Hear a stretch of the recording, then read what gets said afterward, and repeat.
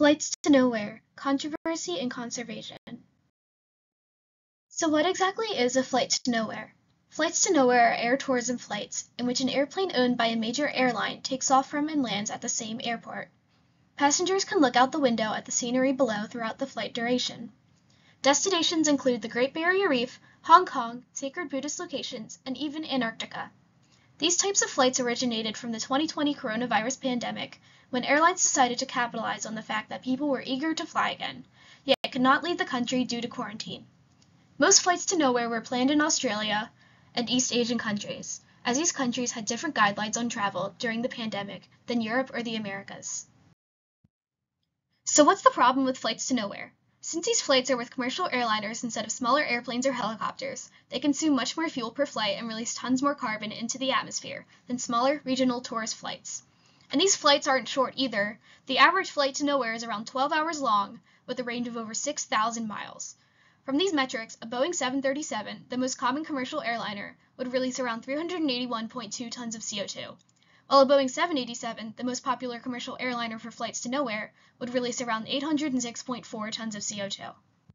Therefore, many people have criticized flights to nowhere as unnecessary and wasteful of non-renewable carbon resources. For instance, Friends of the Earth, a worldwide environmental organization, has spoken out against these flights, calling them essentially the definition of a pointless trip.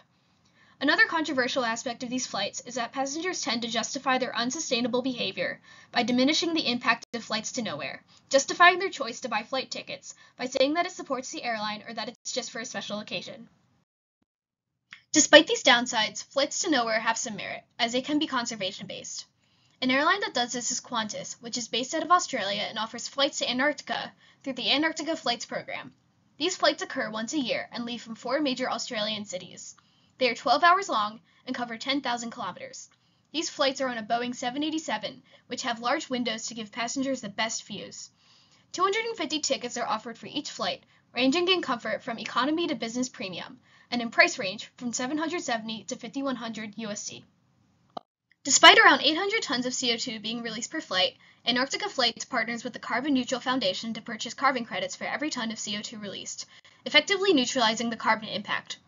These credits go towards a major reforestation project in the Yarra Yarra Biodiversity Corridor in Australia. It also supports the Antarctic Science Foundation, which helps to fund climate change research in the Antarctic. Therefore, from four flights per year at around 800 tons of CO2 per flight and around $25 USD per ton for a carbon credit, Antarctica Flights raises around 80,000 USD per year to support reforestation efforts. So what will become of the future of flights to nowhere? Many commercial airlines today do not offer flights to nowhere anymore due to travel restrictions being lifted, but there still is excitement about commercial airline air tourism flights.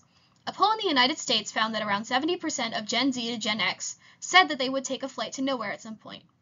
But how could this be implemented in the US? And most importantly, how could these flights be made sustainable?